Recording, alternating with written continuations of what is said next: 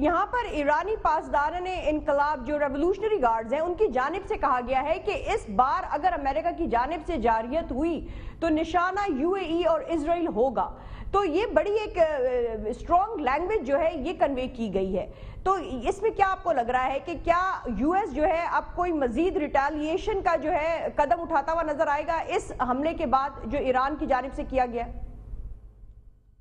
मेरा ख्याल है कि इसके बाद अभी कुछ दिन वेट किया जाएगा, चीज़ें असेस की जाएँगी फ्यूचर में और कुछ मीडिएशन के लोग दरमियान में स्विट्जरलैंड और दूसरे ऐसे ममालिक जो है, वो दरमियान में मीडिएशन की ट्राई कर रहे हैं, दरमियान में कूल ऑफ़ करने की ट्राई कर रहे हैं। मेरे ख्याल में भी कुछ दिन इस चीज़ को वेट किया जाएगा, देखा जाएगा। और जिस तरह आप ईरान की बात कर रहे हैं रिटेलिएशन की, लेकिन यहाँ मैंने ये भी आपको बताया कि जावेद जरीफ साहब ओपनली ट्वीट कर चुके हैं कि we are we don't want to escalate towards the